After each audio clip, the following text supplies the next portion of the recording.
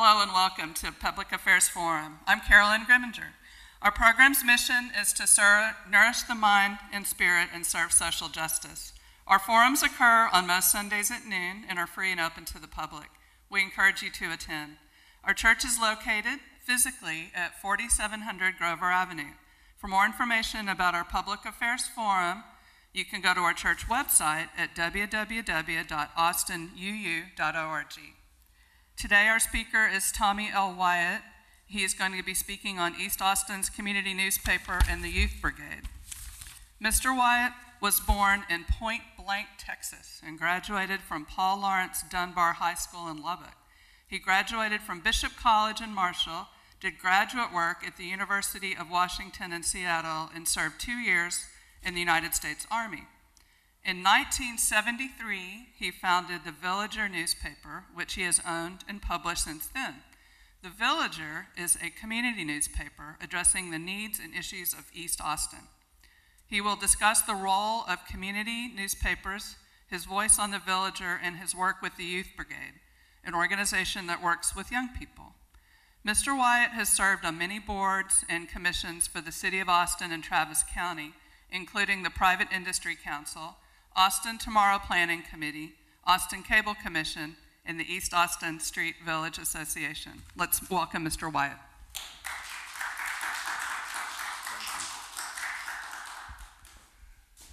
Good morning. Oh, it's afternoon now, isn't it? well, thank you, and uh, thank you for inviting me to come this morning. Uh, trying to figure out where to start. She, co- she covered that point blank thing. That's usually my my, my surprise for people uh, who anybody in here ever been to Point Blank, Texas? Didn't think so. How about Lubbock? yeah, yeah, that's usually my surprise point blank deal. But I have to say that my mother left there as soon as she could. She left there when I was a baby with me on her hip, and never to go back again. Uh, think she we, she came she grew up in a small town up in little town West Texas called Stamford, and she ended up in Point Blank and, and it was smaller than Stamford so she couldn't handle it. However, uh, she finally made her way back to Stamford. I went to elementary school there, but I, we moved to Lubbock uh, in the early 50s, and I graduated from high school in Lubbock. Uh, I arrived in Austin in 1962, uh, immediately after I got out of the military back in those days, when you were drafted, that was back in the old draft days. When you were drafted, if you were drafted off of a job, they were obligated to hire you back to your same position when you came out, out when you were released from the army. Particularly if you got out, got out with a good, what they call it, good, good behavior. But when I got back to Lubbock, they didn't have a job. I worked for an insurance company called it was called the Atlanta Life Insurance Company. Home office was in Atlanta, Georgia and had a district office there, but they didn't have a place for me at that time in Lubbock. So they said, well, I, we get two choices. You can go to Austin, and I, was, I had been trained to be a staff manager.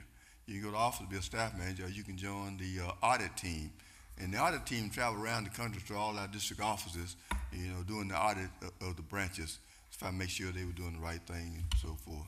And I said, well, I, I hadn't been home uh, since I got out of since, since, I was drafted, I stayed in the Army for two years. I never took a leave of absence because I was up way up in Washington, and, and you had to take two days to get back home. And by the time I got home, it was time to go back. so I never took a leave. So I told them that I, I wanted to get a place where I could settle down and uh, probably start creating some kind of longevity. And so they sent me to Austin, and I was came here, and I was staff manager. I worked as staff manager there for uh, about two years. And while I was there, a good friend of mine who had started an insurance agency uh, here uh, asked me to uh, join his agency as a partner in that insurance agency. And great opportunity. I was young and hot-blooded, so I took him up in his offer. And he and I, we worked together there until he got old enough so he, he want, he's trying to get rid of all his, his businesses. He's, he's ready to retire.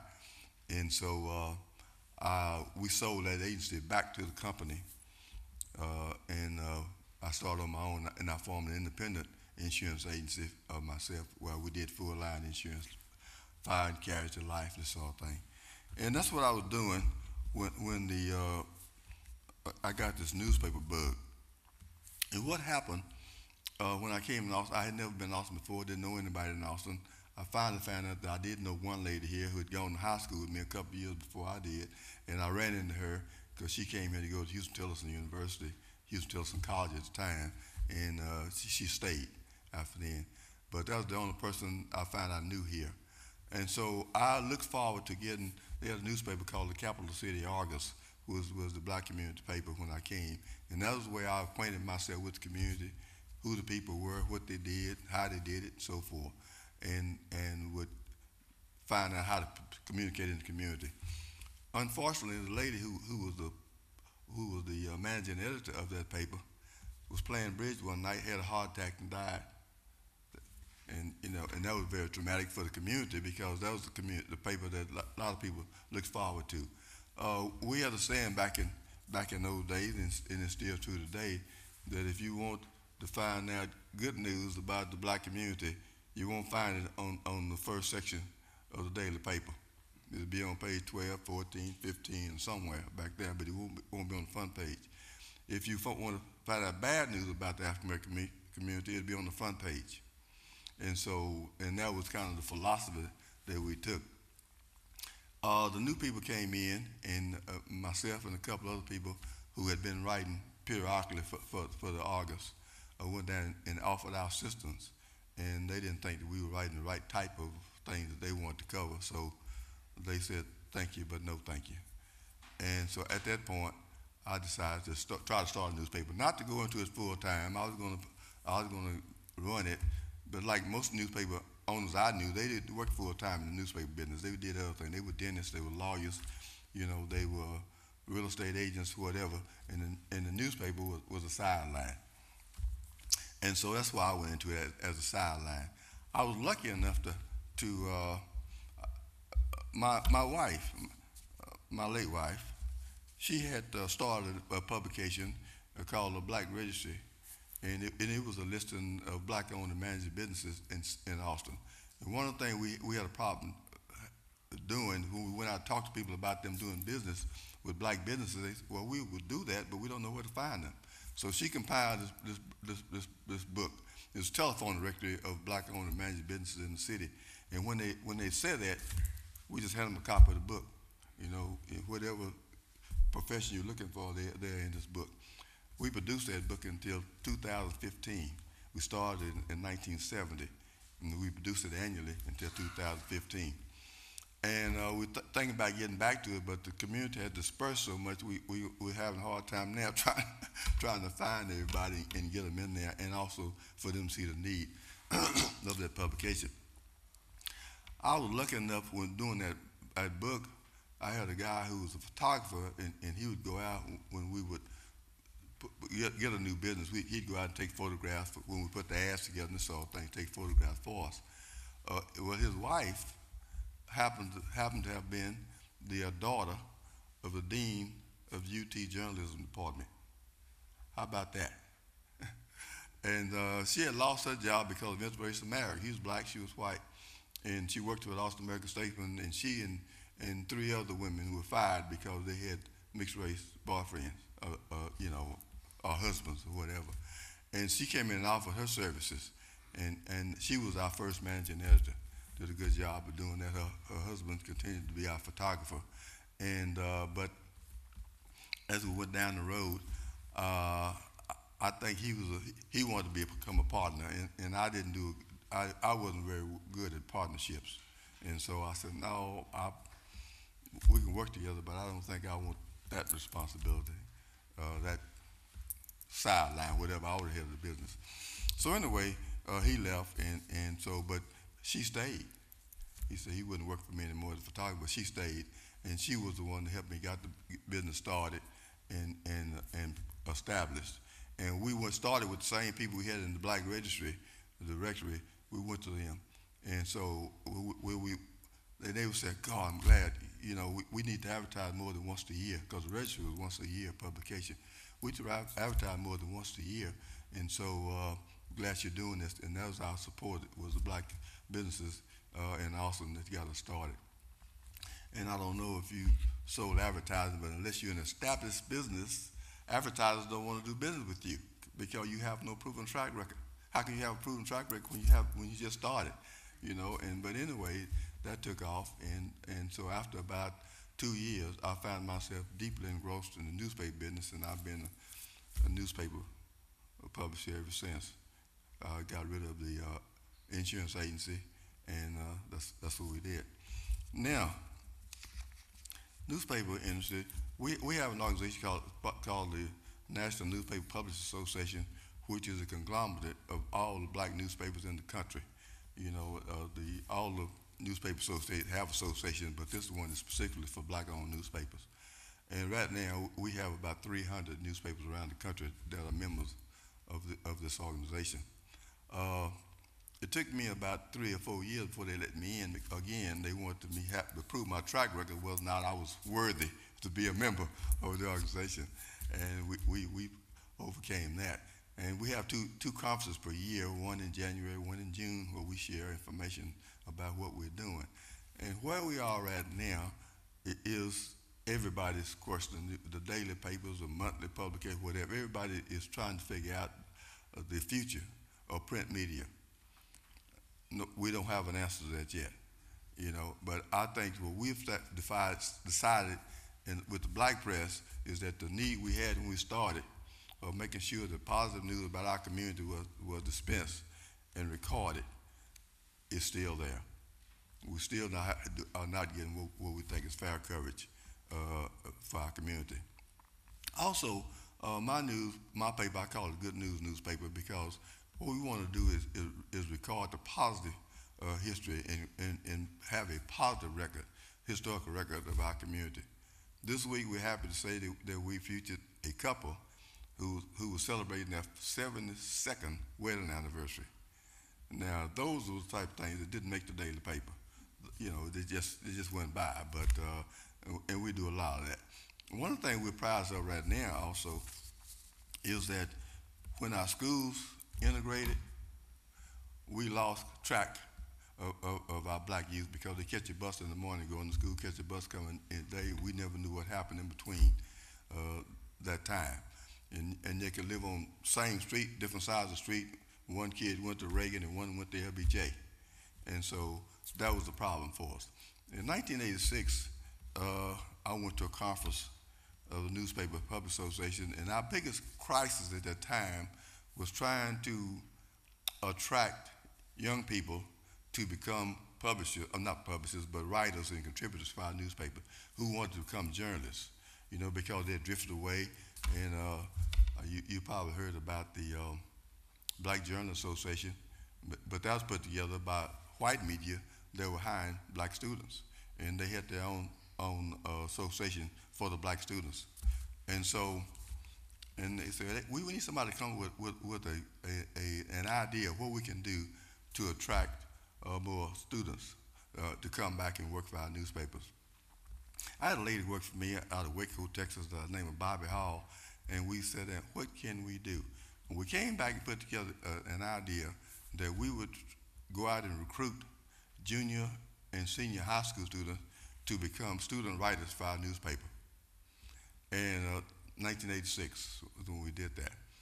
And we sat down and we talked to a number of companies we had good relationship uh, at that time. If you remember Southwestern Bell, you know, was a good partner at the time, University of Texas, uh, Houston University, and several other uh, couple of banks, I think Frost Bank was one, and, and asked them if they would support this type of program.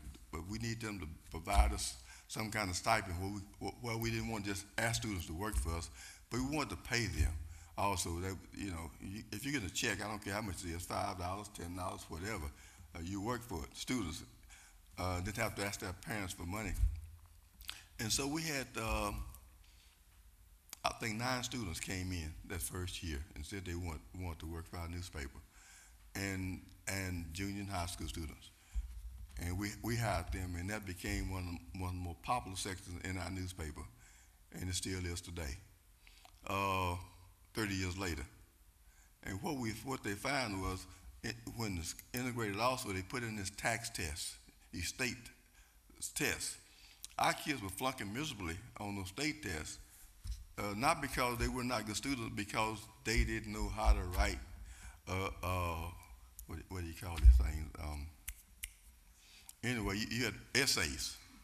They didn't know how to write essays. They, they didn't know how to put the words together to write a, an essay that was, that was a, that would give them a good grade, you see. And so by them writing for us on our newspaper, they had the fear of writing. And these students took the fear of writing away, for, take the fear of writing, and they enjoyed it. And so, as I said again, 30 years later, we're still doing that program. We, we recruit now about 20 students per year who work for our program for all the schools around Austin, Maynard, Del Valle, Pflugerville, Round Rock, and that, that sort of thing. Bless you. and uh, and those students still that, that's that's one of our most popular sections. If you see our paper, get our paper. We we we distribute now. Now the East Austin, we we're not an East Austin paper anymore. We we are the Black community paper, and because we have to serve we have to serve those same areas: Maynard, Pflugerville, Round Rock, Cedar Park, and Austin, because most of us uh, have moved out of central, central city Austin, and uh, because of raising taxes and high property values, can't afford to stay there anymore. I myself live in the senior citizen complex out in Pflugerville, Merle Town. Uh, so we distribute our paper. We still a free circulated paper. That's one thing also I think it made us unique. We were free circulated paper. We didn't. We never charged a, a, a price for our paper. We just we drop it in buck locations, buck drops wherever we can we can find people to take them. And we finally worked out a deal with the HEB food stores. We have nine. They gave us permission to put them in nine of their, their stores. And the majority of our paper is distributed through those HEB stores. The rest of them are still being distributed through our um, churches because most of the churches, black churches, still are in East Austin, although their members have to drive long ways to get to church, but they're still located in East Austin. So we distribute our churches and some of our neighborhood businesses like, like the uh, restaurants, uh, and other neighborhood businesses like that, that who people do still come to town for that. But most of our papers are distributed in, in, in through the uh, outside business stores.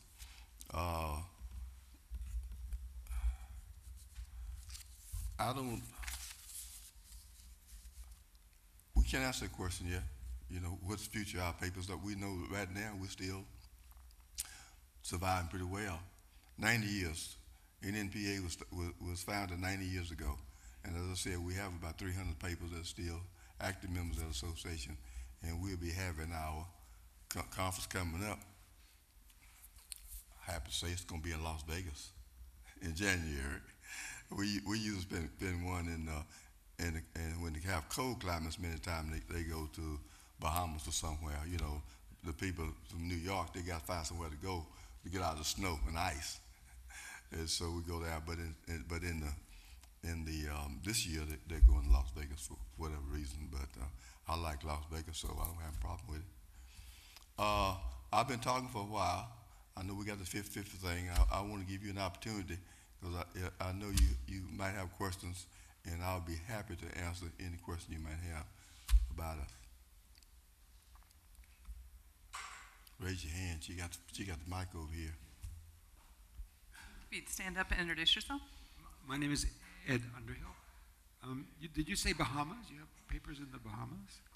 We got a couple from the Bahamas, yes. But, but I was saying that, that usually in, in the in the wintertime we go to Bahamas we get the guy for the people on the East Coast get out, get out of the cold weather. Doesn't the cold weather doesn't affect us here? You know, we get we get one day of snow like we did this week, that, that lasts overnight and it's gone. but up there, I mean, they they just need to get out of the cold weather. So but we do have a couple of papers from Bahamas that are members of the association. I have a couple of questions. My name is Glenn Williams. How often does your paper come out, and about how many copies do you print each each time that you? Okay. We, we, we, publish 6,000 papers per week, and we come out weekly every Friday. Every Friday. So uh, we start, we're printed on Thursday, but we start distributing them on Thursday, but uh, we guarantee to have them on, on, the field by Friday morning. And just one other question. Uh, you give, obviously, you give the positive things. What else do you cover? Do you cover like sports or entertainment, like black uh, plays or something like that? What, what, what is your paper? We, we, we, we cover activities of the black community. Yeah, yes, we do, we do plays and entertainment. I think this week we, we, we devote a lot of time, uh, on, on, uh, sports because of, because of the fact that black players have been, been, uh, taken for taking a knee to protest the mistreatment in the country, but nobody picked up on the mistreatment. They always, only just picked up and said they've been dis- disrespectful to the flag and disrespectful to our troops, but that's not what the protest was all about. And so we, we, we actually voted most of this issue to, to that issue. No, thank you. He's up front again. Hi, um, Lord. So, um, so, um, are there languages like, like Haiti, for example? I mean, do you, um, not every person who is not white speaks English. And what about all those people? I mean, um, you know, Haiti, Canada has uh, two languages, and um, and I imagine they're not all white people. So your question is, uh, do you I have other it. We- languages? We, we don't do English. We, we don't have a multi-language paper. We just, we, we just do English. Yes. But thank you. That's, that's a good question. Hi, thanks for being here. My name is Larry Courts. I'm a member of the Forum Committee. How many children or youth do you have contributing to your newspaper? We, we usually have about 20 per year. During, during the school year, we have 20, 20 students. All of them don't write every week, but usually we have 15, 16 of them who write every week. Uh, are these, are they training to write, or are you, are you teaching them how, or they've already been to school and learned how to write? No, they're in school. That, that's the kind of problem. That no one was teaching them to write. So we aren't really. How can I put it? We're not training them to write. What, we, what, what we're doing is we're trying to help them improve their writing. Once, once they write, they know what they want to talk about. But if they don't put it in the right, right grammatical way or, or whatever, then, then we assist them in that. We advise them in that. We, also have meetings with them once a month to, to, to, to, to review because many of these students also are not participating in extracurricular activities at school. And so we, we, we make this an organization, you know, and we, we take them on, on community activities such as the MLK March and uh, uh, King Celebration and, and those sort of things. Just give them a, a, an extra uh, insight of what's going on in their communities. This is Glenn Williams again. As you know, we've got elections coming up in the spring and in the fall. Does your paper take a role? Do you endorse candidates or do you screen candidates? I, I assume you give political coverage, but do you have a policy as to who, who you endorse or how you endorse? We endorse candidates, yes, we always have. Yeah, and the screenings we go through, usually when candidates are running, you know, we, we go to a lot of the screening sessions they have, many of the churches have them, like our organizations have them, we go to those.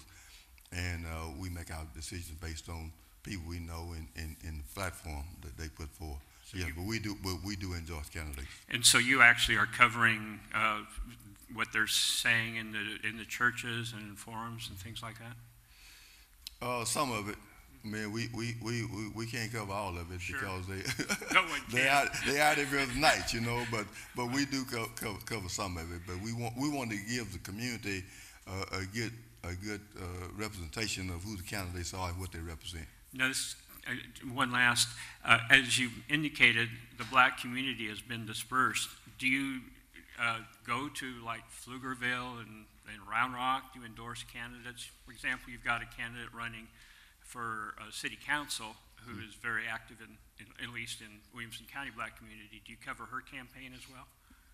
Well, well, this, this is, this is new. We're trying to, we, we, we have a, a reporter in, in, uh, Round Rock area who goes to a lot of the forums and, and, and write up organization, about, write up information about what, what the county is talking about. Uh, so yes, we, we are, this, this will be our first time actually, uh, uh, uh, endorsing candidates outside of Austin because this is kind of a new phenomenon for us trying to keep up with who these, who they are. I encourage you to continue doing that because I think it really will, will be helpful. I think we you. probably will because our community has, has, has moved out there in large numbers. Great, thank you. Thank you.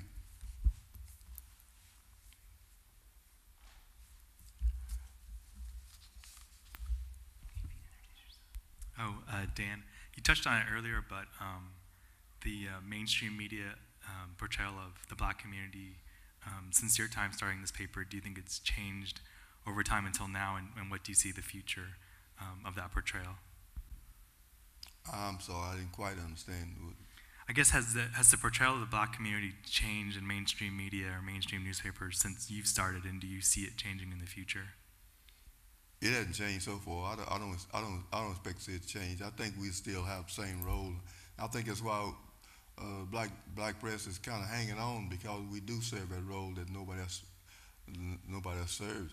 And I think it's important, not not just black communities, but there are other community papers. You know, we got the Asian community got their own newspapers. Hispanic community have their own newspapers. So, you know, because there are, there are specific uh, things that happen in, in, in each one of our individual communities that, that doesn't happen, that doesn't affect anybody else. So I think there'll be always be a need for those representatives to, to speak for themselves and, and support the activities. So you said you distribute at the HEBs. Um, which HEBs in particular are you distributing of? Well, we, we got two west of I-35. That'll, that'll be Oltorf and Congress, and that'll, that'll be the Hancock Shopping Center. Uh, on the uh, other side of Congress, we have at Pleasant Valley Road, HEB, we have the uh, Springdale Shopping Center, Palmer Lane, Wells Branch, and uh, Highway Highway uh, 79 in Round Rock.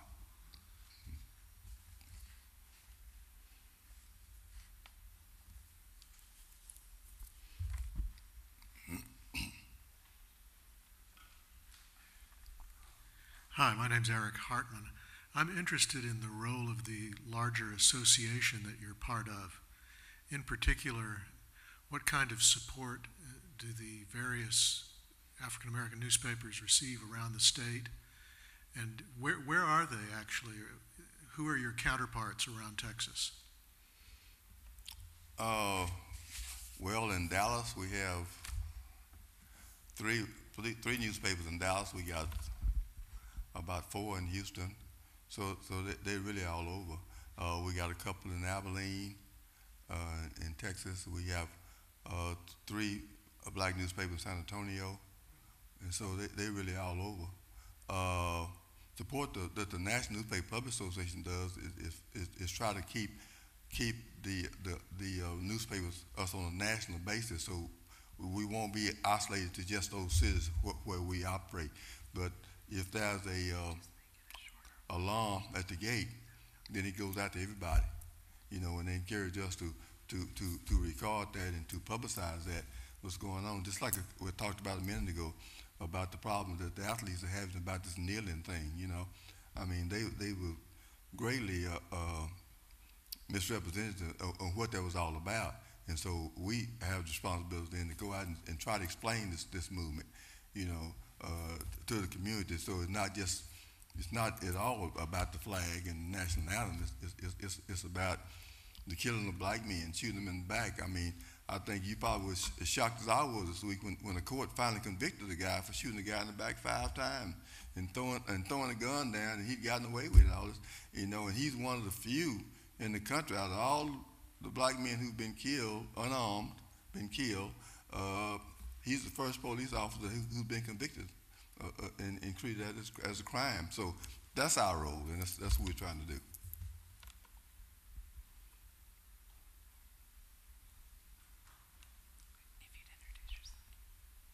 Shirley Weiler.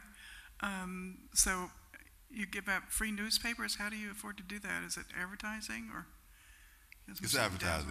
Okay. It's advertising. We spend t- solely on advertising. Wow. Uh-huh. Okay. Good And, uh, and we ain't making enough money to get rich, but we, we're making enough to keep printing the newspapers. Did you bring any papers along with you today? Well, Luther came over the other day and picked up some, so he's was Okay, going to think distribute them. said and so around I think all yeah. I, all I have is one. Okay, that's what it have looks here. like. Copy of it. Uh-huh. But Luther picked up. He picked up a, a, a dozen. So the other day said he's going to distribute, them, but now he might still he might still be in his car. yeah. Do you want to go get him? Would you mind going to get him in the lobby? Thanks.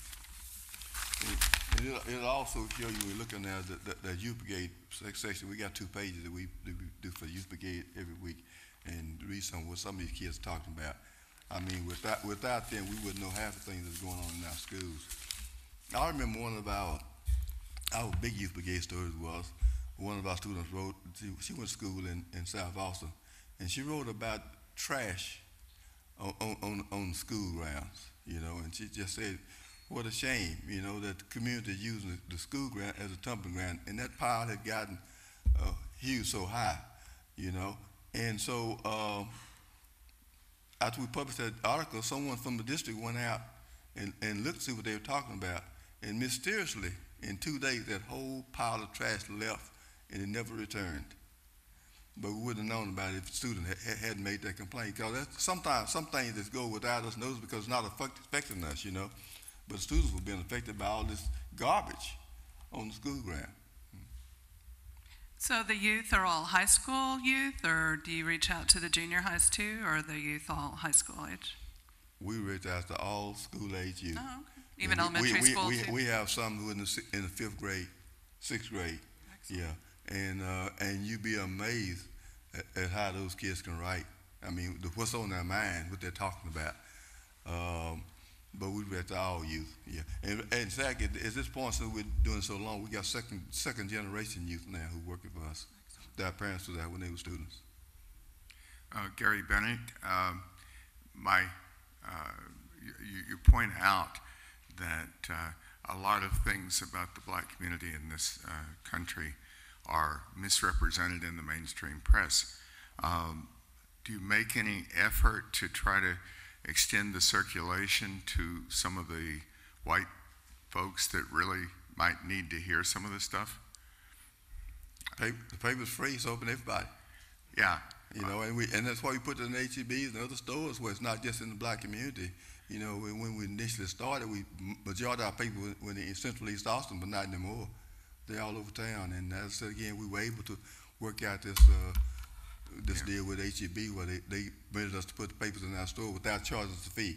They ch- first wanted to charge us a fee, but we couldn't afford to pay the fee, and so they finally backed off and gave us those nine stores uh, without that we could do it. And and I can tell you now uh, when those papers are leaving, they're not all us, all black folks taking those papers.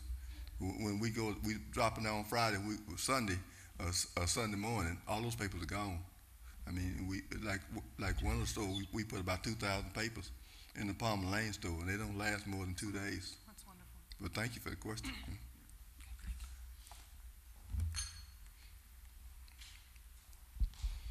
Yeah, we try to reach out to everybody, but, but if, and if you, uh, live in the area and you wanna know where we distribute, we'd be happy to tell you that. But also, our, our paper's uploaded to, to our website every week. It- It's theaustinvillager.com, and the entire paper is print, including advertisers, are printed on that website. And so advertisers get, get, get, get free coverage there because we don't charge them extra for, for putting it on the website. Pat Beulah, um, have you ever had anything so controversial that you had a lot of complaints or threats or anything like that? I've never had, I've had a lot of complaints. I've never had a threat so far, you know, and, and some things are very controversial. We, we- but we cover those. We, we don't we don't run away from the controversial things. But I but lucky I've never I've never had a threat. Another question for you. Uh, I noted quite an impressive record of civic involvement on your part, serving on many boards and commissions, city and county. And I'm interested in your experience doing that and how you felt as a voice for the black community, which successes you would point to, which frustrations you experienced, what you think about the quality of the opportunities that are given to get involved in city and county affairs. Boy, we only got an hour. Actually, when I first came here, Austin was still just bad. It Was still actually completely segregated. I you know, but but one thing about Austin, I found that, the black community, the white community, get, got along. You know, but we still segregated. I was the first African American in Austin that joined the. Uh, at that time, they they called the the uh, uh, uh, Chamber of Commerce, the, uh, the Junior Chamber of Commerce. I was the first black to join that organization, and because I, uh, you know, you, you as you're out there, you run into people, and they invite you to come in. But what happened was it, it wasn't that black blacks had not been invited. It's just none of them showed up. None of them went. Didn't want to be involved. Didn't want to be a standout. Or I don't I don't know what the reason was. And also I, I transferred that. And by the time I left there, because you know junior chamber of commerce, you, you could, couldn't be more than 31, and you had to get out because that's why they call it junior chamber of commerce. But by the time I left, I had at least five people that I, I encouraged to join that organization. And are several organizations like that, you know, that the Life Underwriters Association, where all the insurance agents met, once a month, had lunch, and talked about how to sell a million dollars of life insurance. I was the first black in Austin to join the organization. Many of them had been invited, but they didn't, they didn't choose to participate. But again, you know, someone has to, has to break the ice. And um, I was actually, uh, uh, how can I say, surprised and delighted someone would ask me to join. And I'll tell you now, when I joined the Junior Chamber of Commerce, the night that the board approved my my, uh, my application, five board members quit that night. They came back later, but they quit that night because they were so opposed to integrating an organization. So you know, we went through a lot of those, but but it wasn't anything uh, disturbing. I mean, people just just expressing their point of view, you know. And again, some of those guys who quit end up later being being some of my uh, best associates. Uh, yes, sir. My name is Luther Elmore, and uh, in uh, kind of following up on that uh, uh, stream of thought with the racial divide, uh, this week you had a couple articles about the NFL and Colin Kaepernick and the controversy with the football players kneeling.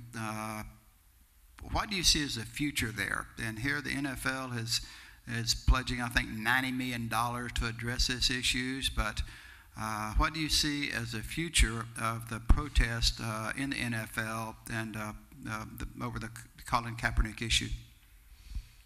I think that the owners finally got the word. You know, th- this this playing the national anthem before a football game was, was was a new development. You know, they didn't do it before. The players never came out out, out of the room until the national anthem had been played. But somehow the NFL cut a deal with an advertiser that asked them to do it, and they did it. and but but uh, I think uh, we, we're going to see a big change in the NFL because of that. Because finally the word is getting out of why they were doing it. I mean, as long as it was Colin Kaepernick by himself, you know, that was fine. But when you get the majority of the NFL uh, taking taking part, then you have to you have to address that. And what what they've done already is told the players they can stay in the locker room until after the, until after the national anthem is played, which which was the old system, you know. And so that's one move right there. Now, where they plan to invest the money, uh, uh, the nine million, where they, where they plan to invest, I don't have any idea where that, where that money is going. But I guarantee you, uh, they're going to try to retain those football players.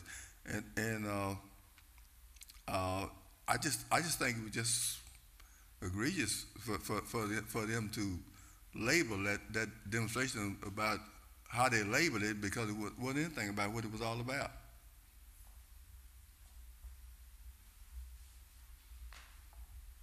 All right, if we don't have any other questions, we're just going to cut our forum a little bit short today. Let's give him a hand, please. Thank you for coming and speaking Thank to you. us. Thank you so much.